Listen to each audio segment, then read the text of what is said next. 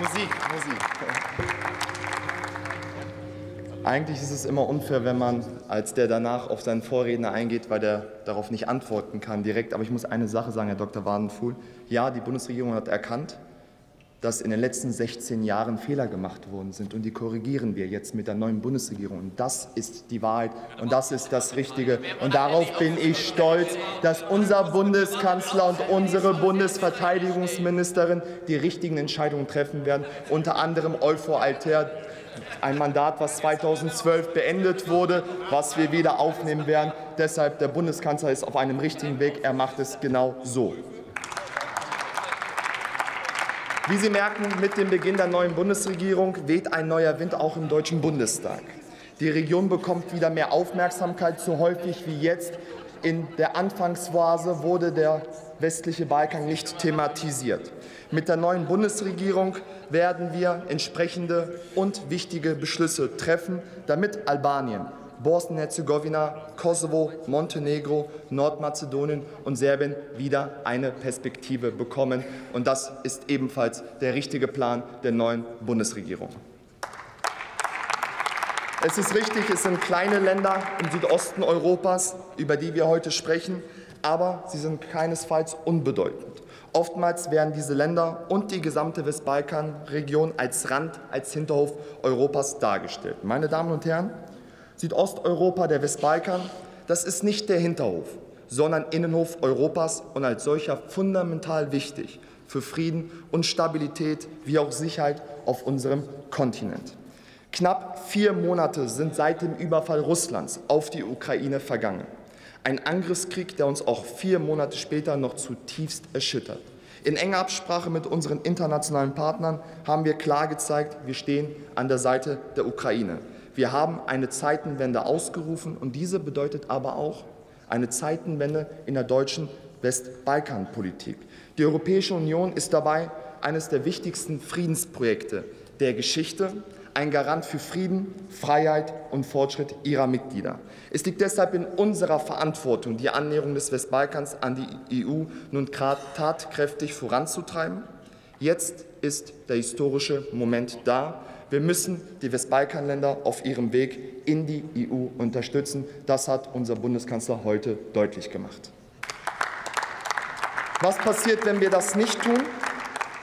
Das zeigt sich bereits heute. Drittstaaten wie China, die Vereinigten Arabischen Emirate und eben auch Russland haben längst die Zögerlichkeit der EU als geostrategische und wirtschaftliche Chance erkannt. Seit Jahren bauen sie ihren autokratischen Einfluss aus und füllen das Machtvakuum, das die EU in Südosteuropa hinterlassen hat. Es sollte uns beunruhigen, wenn in St. Petersburg Staatspräsidenten aus der Region hofiert werden und von freundschaftlichen Beziehungen gesprochen werden. Genauso sollte es uns beunruhigen, wenn der russische Botschafter in Bosnien-Herzegowina dem Land drohen, sollte es der NATO beitreten. Noch ist es nicht zu spät, aber wir müssen jetzt aktiv werden. Es ist nicht nur der Krieg in der Ukraine oder das Zurückdrängen dieser Drittstaaten, welche das momentane Opportunitätsfenster begründen, sondern auch die Zustimmung der Bevölkerung. Noch befürwortet eine Mehrheit der Menschen auf dem westlichen Balkan einen EU-Beitritt.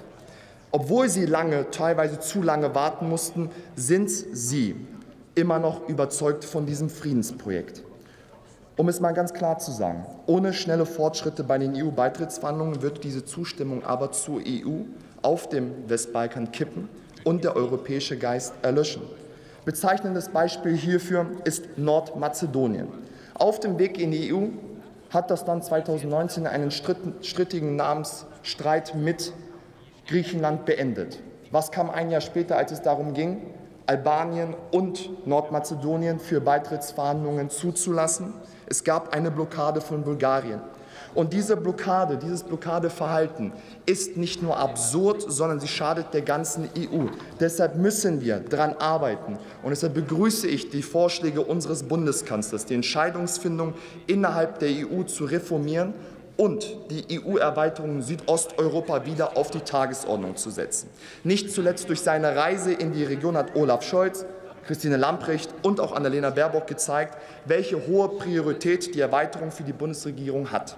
Auch das ist Teil der Zeitenwende. Zeitenwende, das bedeutet Wandel, den es zu gestalten gibt, indem wir entschlossen und auch etwas wagen. Was dies für den Westbalkan konkret heißt, möchte ich noch mal skizzieren. Erstens, Bosnien-Herzegowina sollte den EU Kandidatenstatus erhalten. Zweitens Visaliberalisierung für den Kosovo. Drittens 2012 laufen die Beitrittsverhandlungen mit Montenegro. Das braucht wieder neue Dynamik und schnelle und sichtbare Fortschritte. Und viertens Beitrittsverhandlungen mit Nordmazedonien und Albanien beginnen. Das ist der Plan der Bundesregierung, und darauf können wir als Deutscher Bundestag stolz sein, meine Damen und Herren. Lassen Sie uns gemeinsam dafür eintreten, dass wir schon beim morgigen EU-Gipfel unter Beweis stellen, dass die EU glaubwürdig und handlungsfähig ist. Lassen Sie uns die Westbalkanstaaten endlich in die Europäische Union, in die europäische Familie aufnehmen. Noch schlagen die Herzen auf dem Westbalkan für die EU. Noch ist es nicht zu spät, aber wir müssen jetzt aktiv werden. Herr Bundeskanzler, lieber Olaf Scholz, Frau Außenministerin, liebe Annalena Baerbock, wie Sie lesen, hören und spüren können, gibt es eine große Mehrheit im Deutschen Bundestag, die Ihren Kurs unterstützen. Lassen Sie uns gemeinsam aktiv werden. Jetzt ist der historische Moment da. Vielen Dank für Ihre Aufmerksamkeit.